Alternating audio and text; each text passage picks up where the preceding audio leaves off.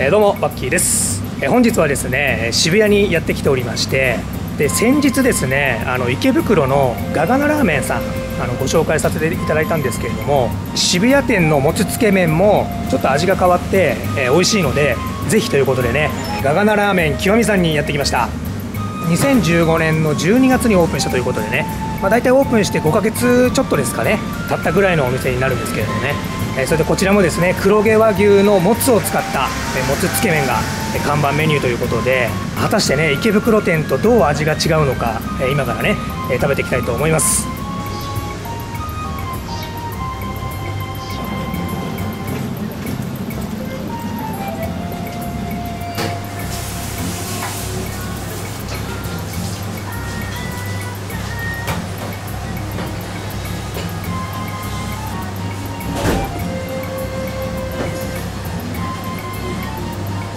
こちらのねガガナラーメンさんは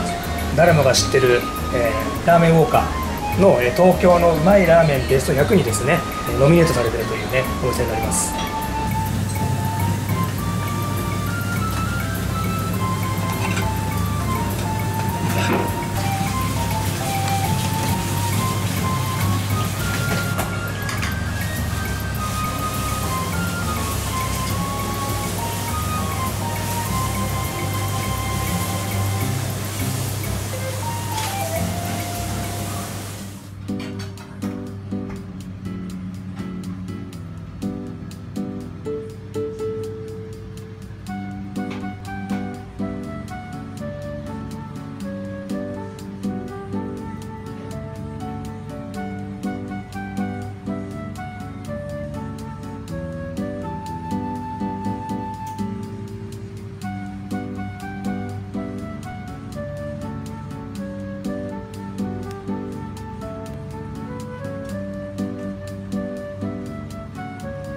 それじゃあまずはねあの麺の方からいただきます。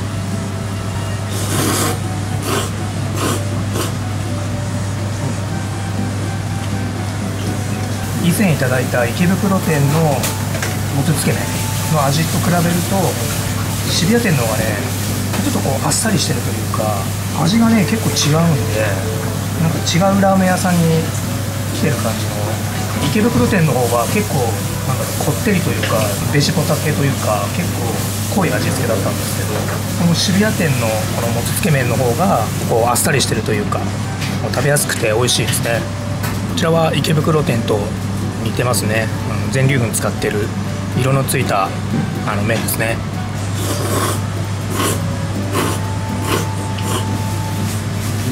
このつけ汁にねあのこのもつのね大きさが結構入ってるとても美味しいですね、えーそれではねこちらの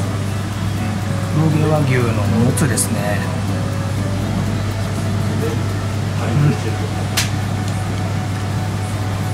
うん。いいっすね。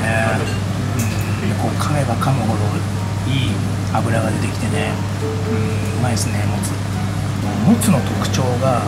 一個一個がね結構もつが大きいんですよね。大きなもつがこうゴロゴロゴロゴロ入ってるんでこれはちょっともつ好きにはたまらないですよね。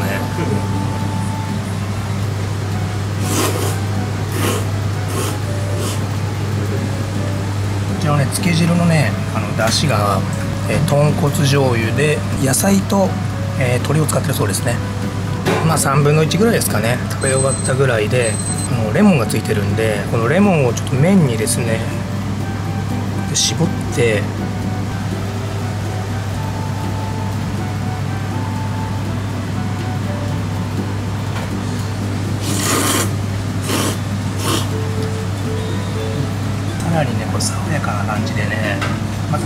変わって美味しいんですよね。さっぱりしてて。なかなかつけ麺では珍しいあのキャベツが入ってるんですよね。うん。美味しいですね。え前回ですねこのカレー魚粉がすごい美味しかったんですよね。でお店の人曰くあのこれご飯に振りかけて食べるのも美味しいんですけどこれをね麺に振りかけて食べると。これも結構美味しいというふうに言ってたんで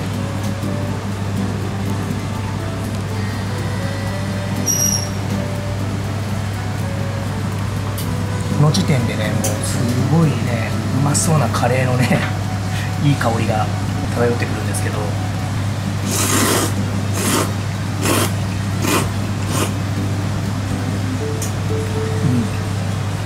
美味しいですね。カレーの風味がねつけ汁にマッチして美味しいですね。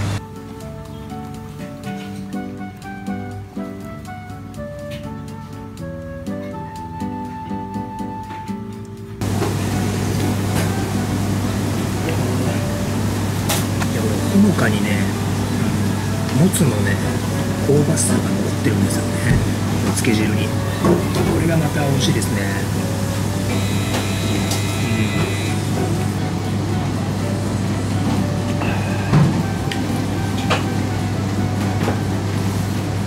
えそれではですね今ガガナラーメン渋谷店さんで、えつけ麺食べてきました。やっぱりね先ほども言ったように池袋店と味がねやっぱちょっと違いましたね。渋谷店の方があの非常にこうあっさりしてるというかもうなんといってもこの黒毛和牛のもつがもう本当に絶品なんでね。もうこれだけでもね本当に食べる価値はあるというかあの同じラーメン屋さんでも店舗によって味が違うっていうのもねまたこういろいろね食べ歩きしていく中ではいい楽しみでもありますけどね。場所は渋谷駅から徒歩7分ぐらいですかね。で近くにあの NHK とかがある、え場所になるんですけれども渋谷で美味しいもつつけ麺食べたい時はですね、えこちらガガナラーメン渋谷店さんに食べに来てみてはいかがでしょうか。以上ワッキーでした。ワッキー TV をご覧いただきましてありがとうございます。この YouTube 以外にも Twitter、Facebook、Instagram もやっていますのでそちらもぜひよろしくお願いします。あとこのワッキー TV の動画を見て、え面白かった自分もやってみたい行ってみたいと思っていただければ、え高評価ボタンそれとコメント等もいただければ嬉しいです。最後にまだチャンネル登録がお済みでない方はぜひチャンネル登録よろしくお願いいたします。